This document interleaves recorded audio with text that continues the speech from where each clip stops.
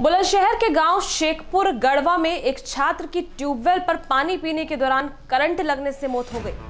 छात्र की मौत से परिजनों में कोहराम मच गया। घटना की सूचना पर मौके पर पहुँची पुलिस ने शव का पंचनामा भर पोस्टमार्टम के लिए भेज दिया है।